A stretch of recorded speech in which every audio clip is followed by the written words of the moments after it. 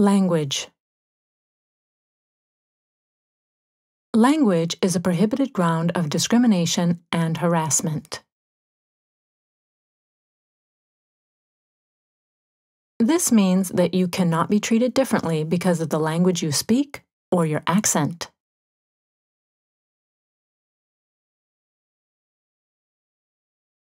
As well, you cannot be the target of offensive and repeated remarks or behavior because of your language or accent.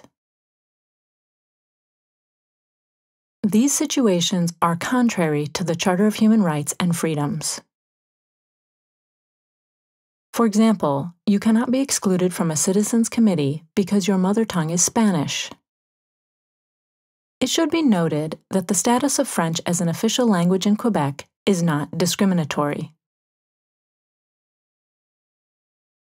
If you believe you have been a victim of discrimination or harassment based on this ground, contact us by TTY at 514 873 2648 or by email accueil at cdpdj.qc.ca.